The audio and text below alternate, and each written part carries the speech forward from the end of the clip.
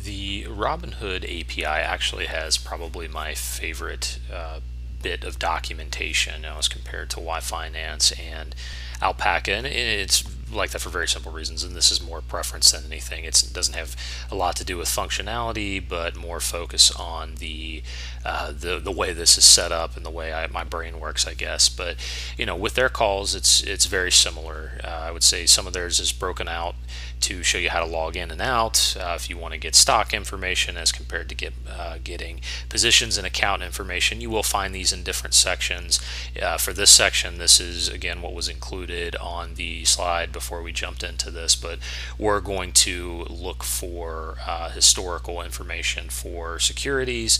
So if you you want to follow along go ahead and go to that link that was shown.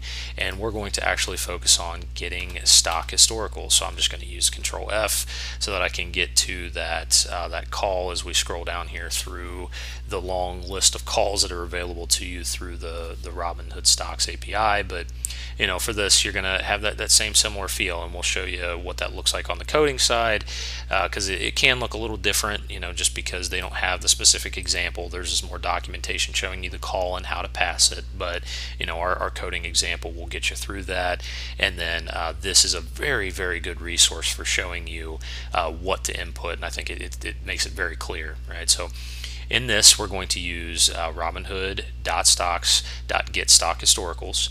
We're going to pass it, uh, in this example, one input symbol. You can pass multiple. Uh, so, so again, this is why I like this so much, is because you can pass it a string or a list, and it's very clear on uh, what these what these can be. But for ours, we're going to pass it a, a single stock. We're going to give it an interval we're going to give it a span, very similar to what you saw with our alpaca call. Um, and then we're, we're going to run that and assign it to uh, a data frame um, just like we did with the last so that we can easily massage that. So again this is something I, I recommend coming in here uh, making changes when you, you get to the coding section and actually reviewing uh, some of these calls, what they do.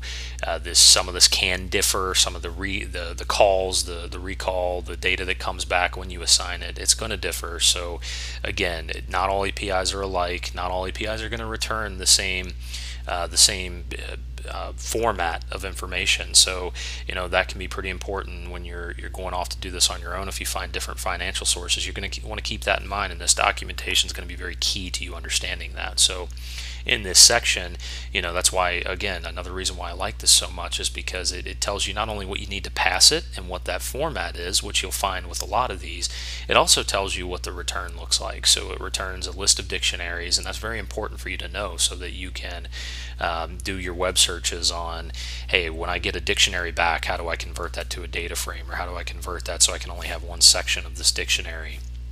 Um, so, so just keep that in mind as you you're looking through this, and if you want to try to grab different pieces of information and take the code, I mean, feel free to come in here. There's options, options information. There's uh, quotes. There's getting ticker information for symbols.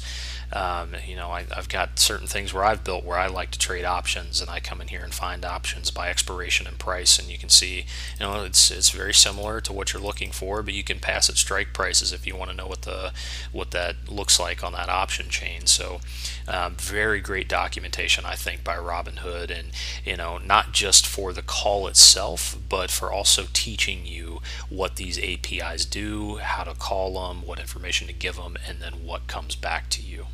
So now let's go ahead and jump over to our live coding example.